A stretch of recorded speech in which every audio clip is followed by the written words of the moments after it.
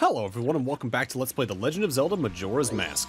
In the last part, we left Clock Town for the first time and made our way all the way through the southern swamp, dealing with the Deku Palace in the meanwhile.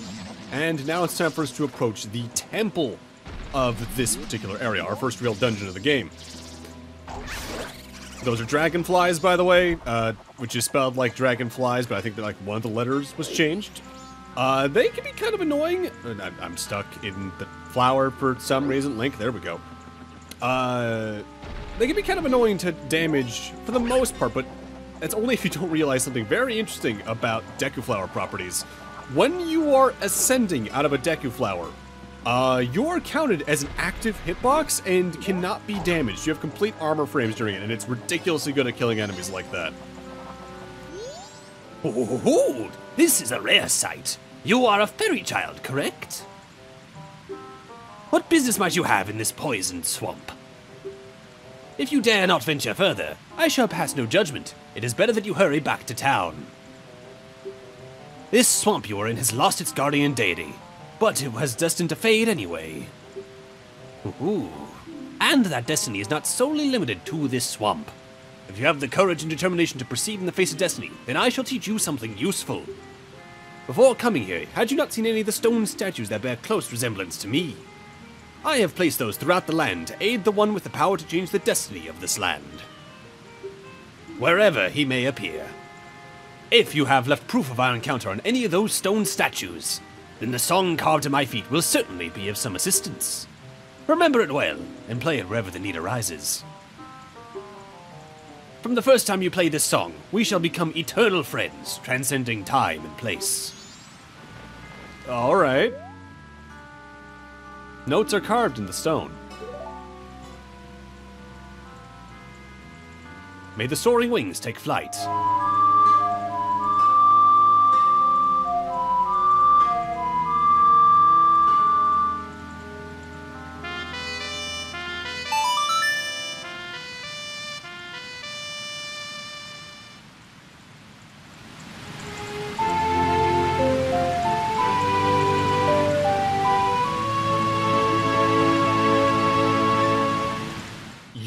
The Song of Soaring. This melody swoops you up and sends you soaring to a stone bird statue in an instant. It's what it says on the tin. It is pretty box standard fast travel. You can now go back and forth between any owl statues in an instant without having to walk that far distance. Uh, notably, there were some owl statues that had slight location changes in the 3DS version. On top of that, they actually moved where that cutscene with Kaepora Gaebora was just there to the very entrance of Southern Swamp on top of that. And as I mentioned before, since the Song of Time no longer saves in the 3DS version, owl statues are how you do your hard saves. On top of the added quill statues, which are just owl statues that you can't fast travel to, usually the entrances of dungeons or every couple of loading zones. With that said, welcome to Woodfall proper. Uh, this is the destination of our dungeon overall, and uh, there's actually some pretty annoying enemies here. I think these things called like Hiploops or something like that. They will charge at you, and they are a little annoying that they actually take two uh, snot bubbles to take out, and that's easily the most efficient way to take them out because, uh, frankly, we don't have a good enough way to take care of them as Hylian Link right now. Also, uh, getting a little ahead of ourselves here, but on an upcoming platform, there is the second owl statue for the Southern Swamp. By and large, every area in the game has two owl statues to it in some form. Uh, the moment you open that one up, I actually recommend traveling back to the entrance of Southern Swamp and going back into the tourist center because you can turn in the picture of the Deku King at this point for a piece of heart. To be completely honest, I frequently forget that you can't turn that in after you beat the dungeon, so make sure you do that now. Isn't this the Deku Scrub mark? I wonder if they worshipped here. Well, maybe, either way. Uh, owl statue, yes please. Again, go to Southern Swamp entrance right now, because I have to go make time to go do that now at the start of the next three-day cycle uh, down the line, to be completely honest with you. It is one of the few things I always get kind of my wires crossed on in the game, and hey, I'm human, there's always going to be something. Also, that was a fairy, they do the usual thing. High HD restorative, but they can also revive you from death. Play the Sonata of Awakening on this platform to open up the dungeon.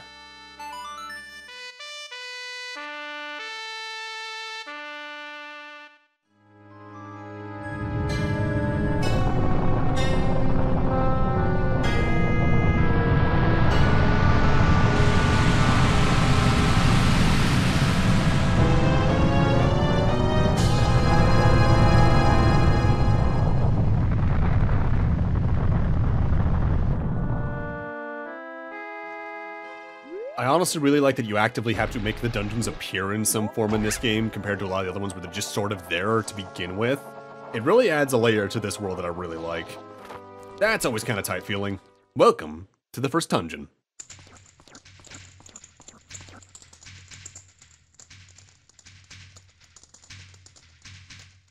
I love Woodfall Temple. Its music's not exactly the most memorable, but I, I think it's a very strong dungeon. Uh, in fact, in general, I think Majora's Mask probably has some of my favorite dungeons in the series, period. With that said, that's our first Stray Fairy. Uh, every dungeon in the game has 15 Stray Fairies hidden within it that you need to find in order to restore the other Great Fairies that the Great Fairy in Clock Town was talking about. In fact, you actually could find the Great Fairy Fountain for these Great Fairies uh, more or less just behind where the owl statue was. Uh, you need to use a Deku Flower to get up to it, but you can't. And this is where the Great Fairy's Mask really comes in handy. There's our second one, by the way. In that, whenever you're in a room with a Stray Fairy and you equip the Great Fairy's Mask, the hair will glow and alerting you there's one in the room. On top of that, in the case that a Stray Fairy is actively out in the open and can be collected, if you equip the Stray Fairy Mask, uh, the Great Fairy Mask rather, it'll actively fly into you. Ah, that stench. This place stinks just like that poison swamp. Well then let's take care of it. Isn't it a Deku Baba? It looks a little withered. Just kind of, you should at least get a Deku stick from it. Uh, that's something, that's me showing off more or less that Tatl does the same thing that Navi did in the last game, where you can get little strategies for enemies and all that. In fact, a little bit of a funny detail. If it's an enemy that was also in Ocarina of Time, there's a very good chance she'll be like, why the hell don't you know what this is, kind of deal. That's it, make sure you kill the Deku Baba right there because that's where the third Stray Fairy is, and the fourth one's very close by, is in the pot in the corner right here. By and large, the Stray Fairies aren't super annoying to collect. There's only like really one instance where you actually have to go back into the dungeon after clearing it uh, to get them all. For the most part, they're pretty streamlined about getting them all. With that said, being a Zelda dungeon, we got the usual suspects in here including small keys. Use it to open a locked door. You can use the key only in this dungeon. Uh, this is something I really find interesting about Majora's Mask, in that by and large it is, of course, an Ocarina of Time sequel because it's directly the same Link and all that. But even like difficulty-wise, I'd say this game starts at about the early adult Link dungeons in terms of actual difficulty. They're not so much as long as some of those dungeons, admittedly, but that's because we have a literal timer at all times on screen, so they had to play around with that idea a little bit. I actually have a distinct memory of this room getting a game over in it because I was here during the final six hours, and uh, whoops. Uh, that was on one of my very early playthroughs. I probably should actually note that very as well, by the way. Uh, Ocarina of Time actively counted your deaths on the menu screen. I think this game does it as well, but an only, uh, a game over in this game isn't a death and losing all your health. It's actually letting the timer run out. Uh, if you lose all your hearts, yeah, you die, but you just kind of get sent back to the start of the area you're in. Not too punishing. Our goal in this room, though, is to take out all the snappers, way to kill them, get into Deku Flower, and then pop out when they're above you. And killing them all will make a chest appear. Oh, almost on top of it, almost did that.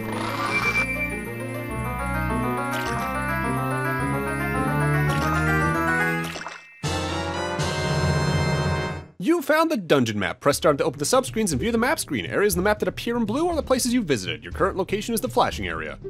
Use the analog stick to view another floor. Maps work the same way they did in Ocarina. You get to see the individual areas. Woodfall Temple, as you can see here, is not a very large dungeon. We've technically already explored about a fourth of it, honestly. I know I just said the dungeons in this game take about the difficulty of the early Adult Link dungeons in Ocarina to start, but I'd say more accurate, this is probably about the difficulty of Jabu Jabu's Belly. There's some confusing ideas and some puzzles that might take a second, but it's not too bad. Uh, be careful of the water in here, by the way. It is poison, so you do take damage, but if you are on these lily pads in particular as anything but Deku Link, you actively get eaten by them uh, and take some damage, so watch out. You want to skip across the water in this room. This looks pretty light. Well, don't just stand there. Press A to grab it and then use the analog stick to move it. We want to skip across the water, though, because we want to move it in a specific way to make the puzzle in here a little easier. And we also want to kill the Skulltula over here because it does contain a stray fairy.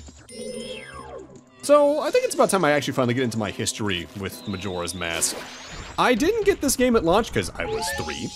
Uh, but notably, we didn't have it in the house when I was very young either. We had A Link to the Past, we had Zelda 1, we had Ocarina, but we didn't have this. I first saw this in a mall GameStop about 2000, uh, let's say 2003 or 4. And I was like, ooh, a Zelda game on the N64 I didn't know about, and we picked it up. Uh, but my brother was there with us, and when he noticed that I had bought that, he was concerned because he's like, ah, I, I didn't like that game because apparently he had rented it or something. Because he didn't like the time mechanic. And admittedly, on my first run, I didn't either. The time mechanic is very overwhelming on a first playthrough, and even on a second playthrough. It really does take a lot of time to get used to, but if you actively get used to it and use the inverse Song of Time especially, it is such a unique experience that it creates that it's really worth going through. And I've just kind of played the game again and again and again since. In this room, by the way, we actually need to use the Deku Sticks as a torch to light some other torches, uh, but notably, you do actively have to roll pretty quickly and move quickly in here because otherwise the Deku Sticks do burn out, and I only have three of them, so I need to make sure I keep them around as much as I can. I think if you light a Deku Stick, uh, or use a Deku Stick to light a torch, its timer resets? At least that's what it feels like, at least in one room down the line. So you don't have to worry too much, but be quick all the same. But yeah, if memory serves though, I didn't actively beat this game until I think uh, maybe even after Twilight Princess was out, or at least well after I had beaten Wind Waker, uh, which would have been about 2005 or 6. But something about beating the game the first time just really made this game stick with me more and more and more. To the point where, uh, oh, actually, I probably should talk about what we're getting in this particular treasure chest. We're getting the other part of the usual trifecta for Zelda dungeons. The compass. Now, many of the dungeon's hidden things will appear on the map. And by that, they mean treasure chests, pretty much straight up. There's not many treasure chests. It also shows where the boss is. You don't have to worry about a lot. Otherwise, I was saying. Uh, I think I even talked about this years back in LPs I don't recommend going back to watch because I was in high school and that's a little shit. Uh, this is a game I usually play at least once a year, at least I try to. But in particular, in like junior and senior year of high school, and I think even freshman year of college, I actively played this game through multiple times in a week uh, particularly like spring break of those two years of high school. I played the game like two or three times in a row each because I just was I, I, didn't have enough. I wanted more, and I think I did the same into at least early college. I know for a fact in my first semester of college I had a history of game development course because I originally went to college for game design. Uh, and our homework for that class was usually just doing a little game review. Like they gave us a little template, be like, all right, talk about what works in this game, what does this, what does that. Be careful, I sense a lot of evil in here. Uh, and here we got some enemies called Boes, by the way. They're little spirits that just jump at you, but we want to kill them all in order to light the room up. Uh, but yeah, we had little game review as homework. Uh, and they were separated by console generation, like we did one for like the Atari generation, uh, I think the NES generation, then we went straight to uh, I forget if we went to Super Nintendo after that, or we went did like Super Nintendo, N64, and then we did GameCube, PS2, Wii Gen. Like we, we I, I think we started doubling up on generations in some of them. But for the N64 generation one, I did this, and let me tell you, being able to say I played a Zelda game as homework is fantastic. I also did Resident Evil 4 uh, for one of those assignments if memory serves. Same with uh, Batman on the NES. That's actually why that LP exists that I did. Yeah, we want to kill everything in that room because that spawns that stray fairy, and I think you can light the room up first, actually. Uh, before doing that, it just makes spotting the Boes a bit easier, but uh, yeah, just got that a little backwards. Have to light the room up to actually get out of here. Now, if memory serves, this next room is pretty important in the 3DS version, that they actively moved one of the stray fairies uh, from the room before the compass into here. It's like in the top right corner, I think, if you go down to the floor portion. With that said, be careful here, because you might notice there's some holes in the floor uh, near the Deku Flowers, and if you fall into the holes, you actually fall back into this central room. Uh, and we just, that means you have to do like another minute backtrack back here, and hey, that's wasted time, and I'm not about that shit. Usually. Uh, another weird change of was about this room in the 3DS version. Uh, the platforms here are always moving in the N64 version, but in the 3DS version, they only move when you get on them, and uh, that does make this room a lot easier. Uh, but it was a weird change, and I did not like it. Because I am a Majora's Mask purist, clearly. Nah, it's only half true. like I've said, Majora's Mask 3D had some really good changes. More save points was one of them. Uh, but also some that were just kind of like, why? In fact, we're actually coming up, technically, on one of the most important differences when we get to the end of the dungeon, but I'll talk more about that when we get to a certain thing.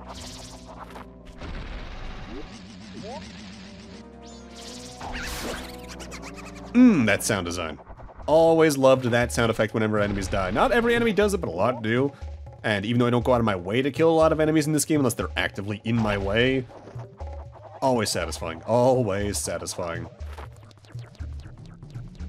Also, this place from memory actively got like a bit of a lighting overhaul in the 3DS version, to be a little more purple. Uh, I think that's in my memory. It might be just confusing that with the rest of the swamp, though. Look, from up here we have a better view of that shrine below. Indeed we do, and we can actually press this switch now, which will cause two ladders to appear, giving us an easier route up to the top floor. Uh, notably, you may have even seen there, Deku Link is lighter than Hylian Link, and thus you can't actively press down a lot of switches. That will actively come more into play in one of the later dungeons. For now, though, we want to come back towards where we got the first small key, actually, because now we can access this room over here from the second floor.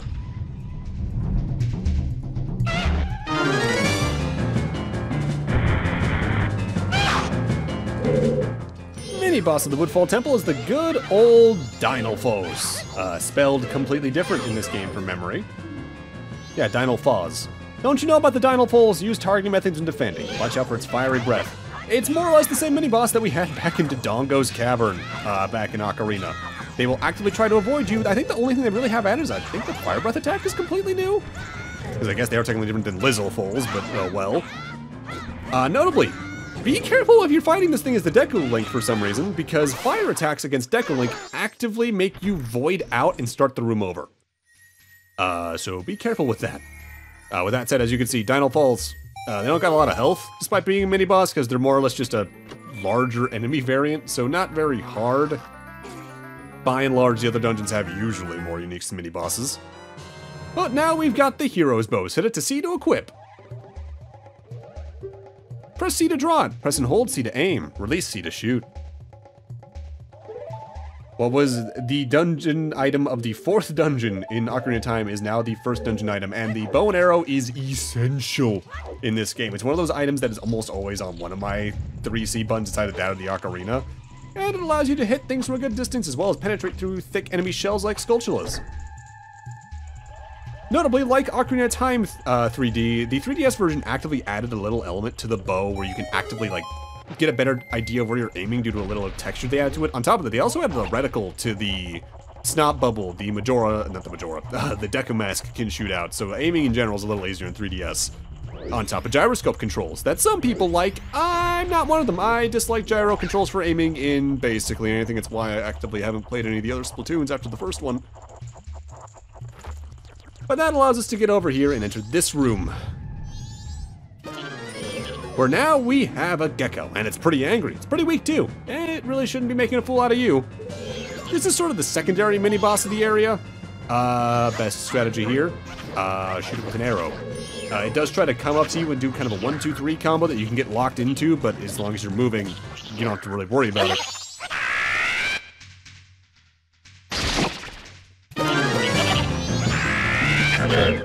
That is until it calls a friend. It's a snapper. The way these things move, they never expose the weakest part of their body. You might remember the first room we fought these in earlier in this dungeon. Now we have to do the same thing against this one. Get into Deku Flower, wait for it to be above you, and then uh, just knock it off the, the knock off the gecko. And at that point, the gecko will try to run around, I think fire some projectiles at you and occasionally try to get back on the snapper. Uh, just shoot it with an arrow, and the pattern will now repeat because you can't hit it more than once. At least if you can, you have to be very precise about it. This mini-boss isn't hard, I just find it more annoying than anything at this point because it moves at just a fast enough rate to be annoying to hit from certain angles. And uh, as many times as I've played this game, I've been in some very annoying angles with it. With that said, as long as you're not like rapid firing your arrows at every opportunity, you shouldn't have to worry about running out of ammo this fight, especially because usually whenever you knock it off the snapper, uh, it drops an arrow. And in some instances, you can actively pick it up when you land because of just some nice angle stuff. It also doesn't have a lot of health, so don't worry too much.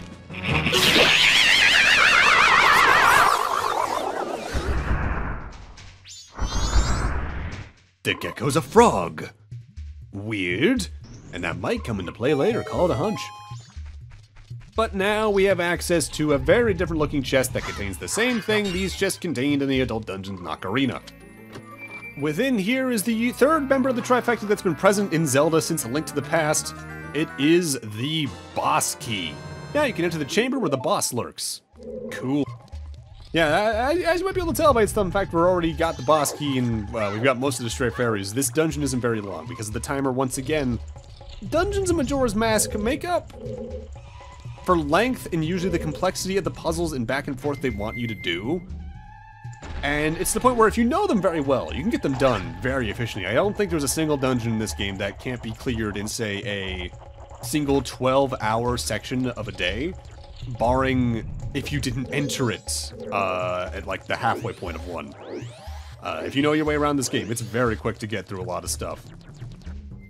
But that said, before we head to the boss, we actually have to hunt down the rest of these stray fairies. We still have six to go now that we have that ninth one. And one of them is actually in this very room, I think even two. Because the thing about arrows as well, they can be lit on fire by shooting them through fire, which you can use to light up other torches.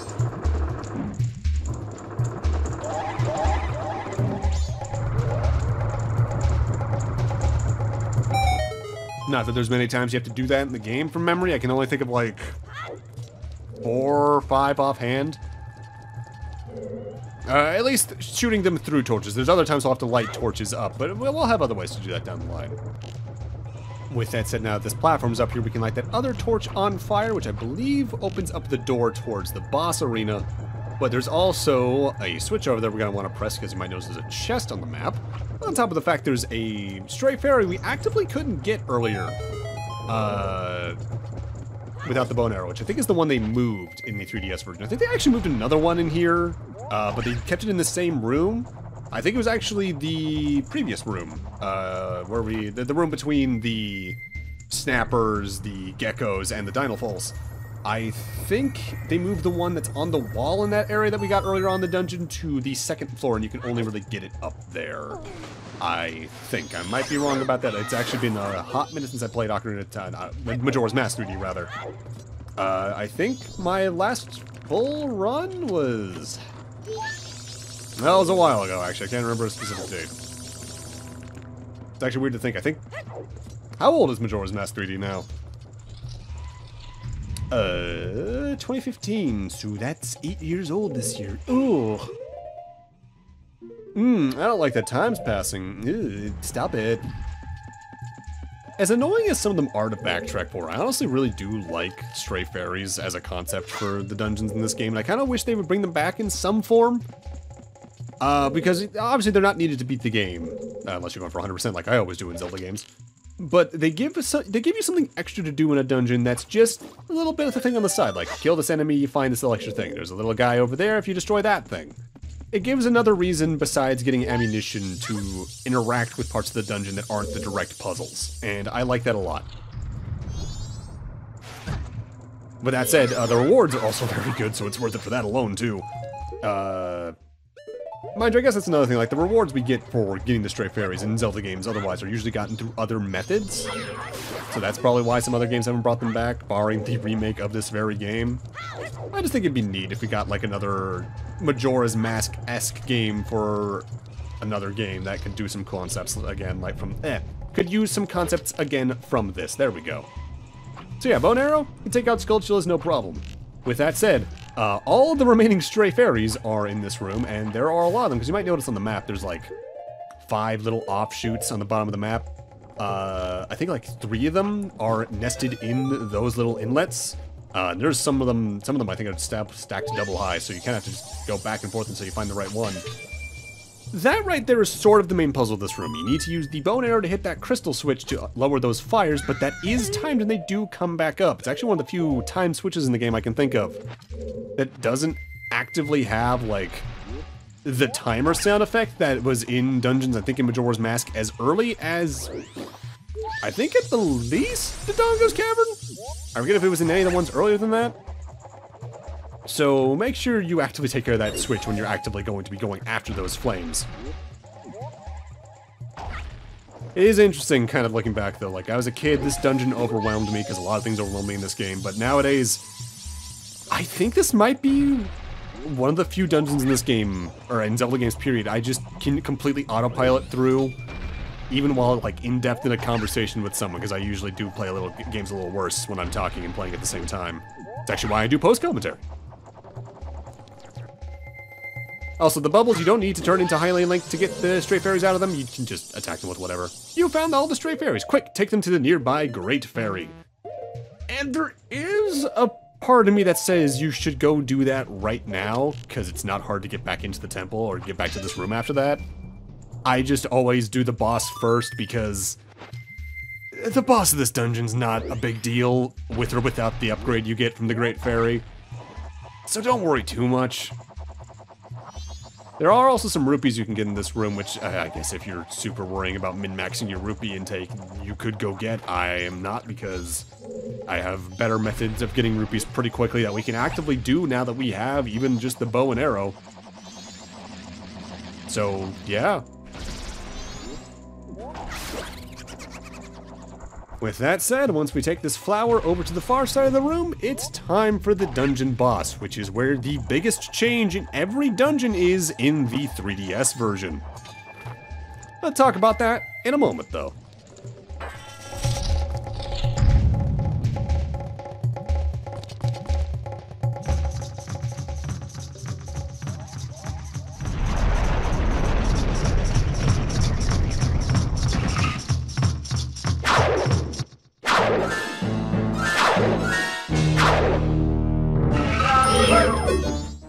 Get close to him, you'll get beaten. You understand me? That is Odolwa's main thing. He's got a large sword and knows how to use it. He has several sword attacks, including a very long-reaching stab, a long-reaching swipe, and all that. And even if you take, just run into it, you take damage. With that said, Odolwa will use his shield to guard unless you use the bow and arrow or the Deku spin to stun him. You can also use bombs for this if you manage to buy them by this point. Uh, once you've stunned him, go for whatever attack you got. Uh, the spin attack, I think you can technically combo with him, uh, him with rather, and the jump attack's also pretty good because it does the most damage of what you got. Uh, this boss isn't a lot to worry about because there's a lot of ways you can stun him. He can summon some enemies though, uh, namely some moths, a couple little beetle guys and all that, so watch out. With that said, this boss was completely changed in the 3DS version to take advantage of the Deku Flower in the center of the arena in a way that I actually kind of like.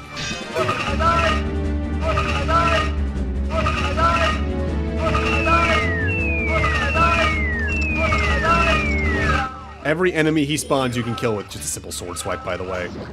Uh, he can kind of jump out of the way, which is also kind of annoying, but oh well. But in the 3DS version, you actively had to use the Deku Flowers around the arena to fly up and send a bomb down with the Deku Nut onto his head because he had a Majora's Mask eye on the back of his head in the 3DS version.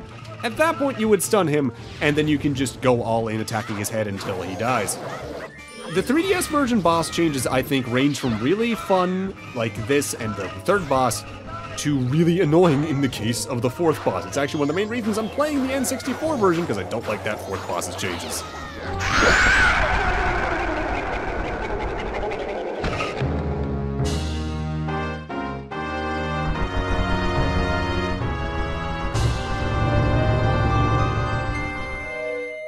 As you can see, he doesn't got a lot of health either.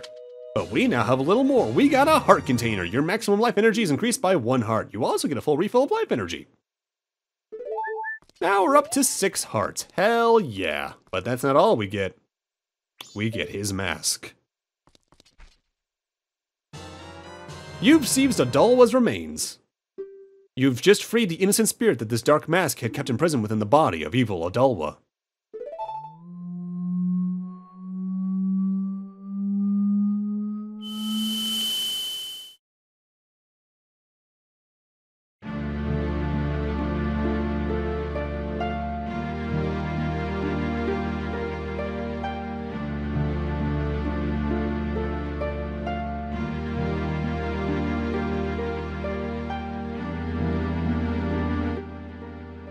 What's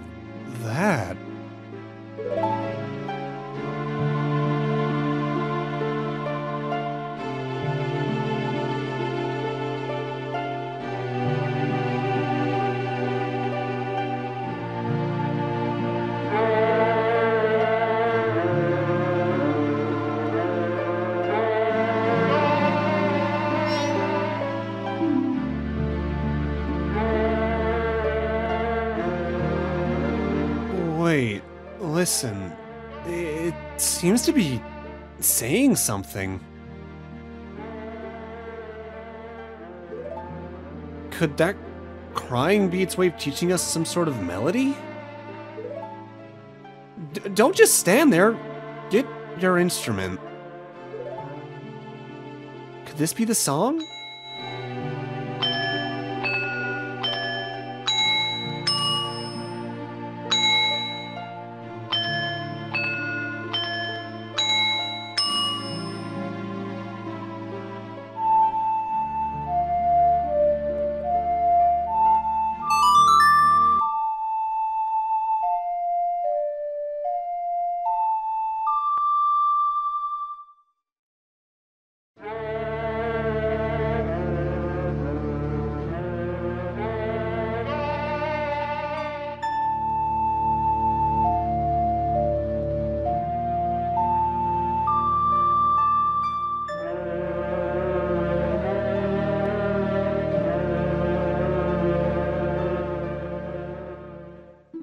You learned the oath to order.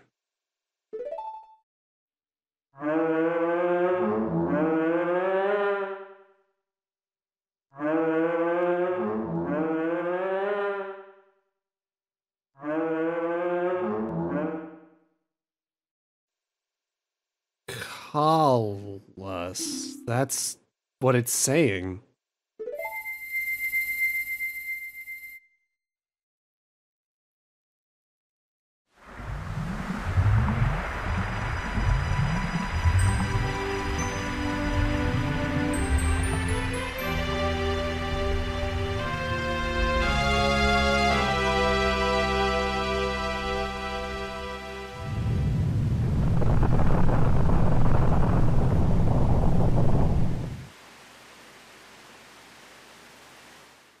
The swamps have been purified. But with that, I'm going to need to end this off here. Thank you guys for watching, and in part 5, we go explore Southern Swamp now that its poison has been cleared. See you guys then.